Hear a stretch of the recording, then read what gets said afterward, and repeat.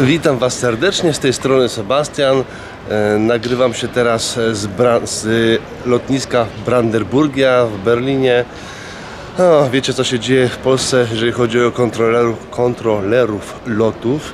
Odchodzą z pracy ze względu na warunki, które im tam e, pisiory zafundowały i teraz ciężko z Warszawy wylecieć, ciężko ogólnie się tam zaczyna podróżować. No i musiałem przyjechać tutaj e, właśnie do Berlina, żeby polecieć do Londynu, a z Londynu będę leciał do Houston. I uwaga, kurczę, wczoraj z samego rana, e, czy wczoraj tak, wczoraj wróciłem bardzo wczesnym porankiem, wróciłem do, do Polski z Cypru. Na Cyprze byłem tam e, na statku, nagrałem jakiś e, materiał, ale nie o statku, dlatego że, e, że akurat o tym, no, ten statek jest, że tak powiem, owiany tajemnicą i, nie, i podpisałem specjalne dokumenty, że nie mogę na jego temat się wypowiadać, nie mogę go tam nagrywać i tak dalej, więc nagrałem inny materiał i nawet nie zdążyłem go obrobić, dlatego że po powrocie, po, po powrocie dosłownie kilkanaście godzin później już musiałem wyjeżdżać na właśnie na lotnisko, no żeby udać się do Houston. Kurczę, patrzę, że kamerka mi się do końca nie naładowała. Nie wiem, co się z nią ostatnio dzieje, jakieś problemy z baterią. No, tak więc e, byłem kilkanaście godzin w domu po powrocie z Cypru, no i teraz na jakiś tydzień czasu e, do Houston. E, Nie wiem dokładnie jeszcze jak to będzie wyglądało, dlatego że tam się troszkę sytuacja komplikuje, ale z tego co rozumiem, to jak przybędę właśnie tam na miejsce, to prawdopodobnie łódka zabierze mnie na, na pokład, bo będę musiał łódką, bo- jest chyba na, statek na kotwicowisku. No mniejsza. Tak czy inaczej, kurczę, Houston, Houston, znowu niedawno tam byłem. Ciekaw jestem, czy po wylądowaniu znowu będę musiał sobie testy robić, pomimo tego, że wczoraj testy wieczorem robiłem. E, pożyjemy, zobaczymy. No, dobra, nic. Aha, no i tak, lecę teraz, e, lecę teraz do e, Londynu i tam będę miał przesiadkę. Ach, trzymajcie kciuki, żeby wszystko przebiegło pomyślnie, bo podróżowanie w czasach tego covid jest naprawdę utrudnione. Co poradzimy, więc trzymajcie się do później.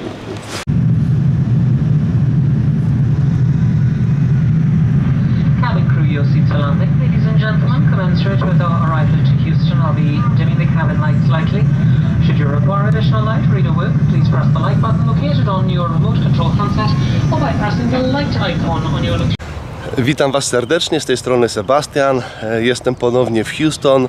E, Zacząłem nagrywać jakiś materiał, jak tutaj jechałem, ale potem stwierdziłem, że jednak nie będę go publikował, e, dlatego że zwyczajnie tam mówiłem rzeczy, których potem stwierdziłem, że nie chciałem jednak jakby przekazywać. E, To miejsce jest bardzo dziwne. Słuchajcie, w tym, tam nie wiem, w tym domku za mną robiłem sobie właśnie test na koronawirusa. Bardzo mi się tutaj podoba. To jest chyba okolica Pasadeny, czyli Houston, Pasadena. Pasadena czy to jest osobne miasto, czy to jest dzielnica Houston, nie wiem za bardzo. Ale przepięknie, bo to mi się kojarzy e, z tym serialem Cudowne Lata. Pokażę Wam teraz na przykład taki budynek, jaki tu jest, czy taki inny domek. Nie jest taki ładny, ale ten stary samochód. Zobaczcie tego starego Forda, tylko żeby mnie nie okrzyczeli. Gdzie on jest tam? O.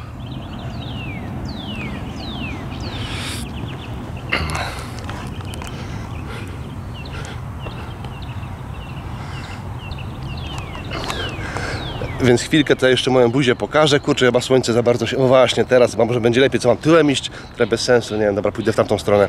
Więc jak wygląda sytuacja? E, przyjechałem tutaj, dwa dni spędziłem na statku, ale oprócz tego, że dwa dni na statku, to podróż okazała się dosyć taka nie, nieciekawa. I słuchajcie, wróciłem z tego, z Cypru, bo byłem na Cyprze, tak? Mam nadzieję, że materiał z Cypru, z Cypru wrzuciłem. Z Cypru wrzuciłem, wróciłem nad ranem, a na drugi dzień, czy tam, nie sorry, a tego samego dnia wieczorem już musiałem wyjeżdżać do tych Stanów Zjednoczonych, więc nie miałem za bardzo czasu dla siebie. E, Byłem na statku tutaj właśnie w Houston. Najlepsze jest to, że na tym statku był jakiś inny serwisant e, lokalny tutaj ze Stanów Zjednoczonych i nie dał rady. Był tu kilka miesięcy temu. Jakoś e, wiem, że była też próba pomocy zdalnej temu statkowi, ale się nie udało, więc przyjechałem ja. A mówię o tym dlatego, że jest szansa, że to był mój ostatni statek w ogóle. Dlatego, że e, od początku maja właśnie zaczynam przygodę z fotowoltaiką. E, Nie wiem, czy o tym wspominałem, z tym, że to nie jest praca taka przy instalacjach na domu czy coś, tylko to są duże takie elektrownie fotowoltaiczne, e, które są na, na przykład na polach albo na morzu montowane, naprawdę duże instalacje. No i będę, nie będę budował tych instalacji, tylko będę nadzorował, uruchamiał, a potem robił serwisy i jakąś tam pomoc zdalną dla klientów. I to jest, uwaga, praca na etat. Sebastian próbuje pracy na etat. Jakiś czas temu się zarzekałem, że na etat już nie wrócę, no bo jest prawda taka, że kurczę, ale przepiękne drzewa. Prawda jest taka, że nie bardzo chciałem wracać e, do pracy na etacie, ale przy obecnej sytuacji, przy czym co, przy tym co wyczynia e, PiS, ja zwyczajnie, nie, nie tylko ja, ale też wielu znajomych, e, to jest strach, żeby prowadzić jednoosobową działalność. Praktycznie wszystko, co człowiek zarobi, ta czysto, tak powiem, wyjdzie, e, to musi w jakiś sposób oddać. Rachunki rosną. Zwyczajnie zbyt duże ryzyko jest. A czego jest ryzyko? W tej branży wiecie jak jest. Może być tak, że ale ktoś muzykę odpalił. Może być tak, że w ciągu miesiąca mam kilka wyjazdów na statek, a potem na przykład przez trzy miesiące nie mam żadnego wyjazdu. I, no i tak, to tak się niestety czasami zdarzało. Zwyczajnie ta praca jest bardzo ryzykowna pod tym względem. To jest raz, a dwa, ja się młodszy nie robię. Schudnąć też mam troszkę problem, tak więc postanowiłem, dobra, nic zaryzykuję. No i na trzy miesiące na okres próbny. O, Jaka wiewióra, kurczę, jak Chippy Dale. Może uda mi się nagrać, ale skacze, jak szalona. Czekajcie, zaraz ją ujmę. E, więc na 3 miesiące na okres próbny idę w branżę właśnie tej, tej fotowoltaiki. Zobaczymy jak to się wszystko potoczy. Czy będą mnie chcieli, czy ja będę ich chciał. Zobaczymy, no nie? Ale przepięknie tutaj naprawdę za taką e, Ameryką tęskniłem. Nie za tymi e, hałaśliwymi autostradami, nie za jakieś tam. Ewentualnie mi się, jedyne co mi się w Stanach właśnie tak bardzo podoba, to samo ścisłe centrum miasta oraz takie właśnie miejsca jak tutaj, nie wiem czy to się nazywa downtown, nie mam zielonego pojęcia jak takie rzeczy się nazywają, ale przepięknie tutaj, dobra, obrócę kamerę i cieszcie się widokiem, może uda mi się tą wiewiórkę jeszcze gdzieś tutaj nagrać. E, Swoją drogą e, uszkodzoną mam ładowarkę do kamery. Widzę, że ta, e, bo nie wiedziałem co się dzieje, że tak miała problem z ładowaniem. Jestem przekonany, że to uszkodzona ładowarka i teraz kamera na ukończeniu, więc jak wrócę do Polski, to muszę sobie ładowarkę do tej kamery kupić.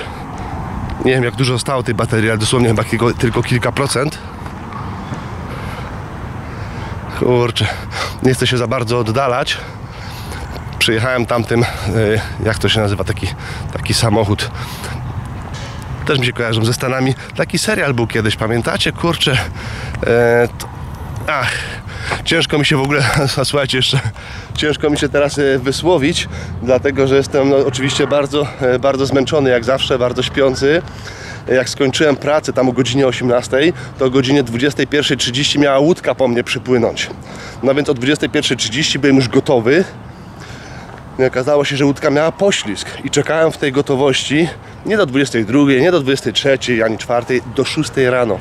Tak, do 6 rano nie spałem, tylko miałem być w gotowości i dopiero o 6 rano właśnie, jak ta łódka przypłynęła, zabrała mnie, no i potem przyjechała, przyjechał właśnie po mnie kierowca, pani kierowca, bardzo sympatyczna pani. No i teraz ten test i będę wracał. Tylko uwaga, będę leciał stąd do Londynu. Następnie w Londynie mam 12 godzin oczekiwania na samolot do Berlina, a potem z Berlina muszę jechać albo jakimś Flixbusem, albo coś. Będę jechał do, e, do Katowic. Tak więc teraz jest sobota, godzina, nie wiem, chyba teraz jest 9, nie, 9 rano czy 8 rano jakoś tak, a dopiero w poniedziałek po południu będę w domu. Ach. Dobra, wyłączam kamerkę, ale dziwne autka tutaj podjeżdżają. Ten jaki fajny samochodzik, czekajcie. Kurde, taki Chevrolet.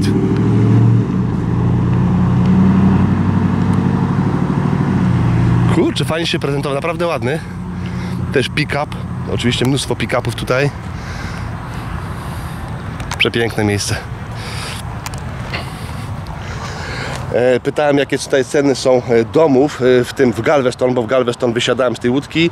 No i powiedziano mi, że za 150 tysięcy można mieć już taki w miarę rozsądny domek, podczas gdy e, gdzieś tam w Kalifornii, w Silicon Valley, to bez 2 milionów dolarów nie ma nawet co podchodzić, no nie? Za jakąś ruinę. Dobra, nic. Trzymajcie się ciepło. Tylko tak chciałem się z Wami przywitać i pokazać, że żyję i cały czas podróżuję. Naprawdę mam na chwilę obecną potąd pracy. Akurat wtedy, gdy zaczynam jakby nowy biznes, zaczynam nową, nową przygodę, to teraz mam tak dużo wyjazdów. No. Dobra, nic. Trzymajcie się, pozdrawiam. Hej.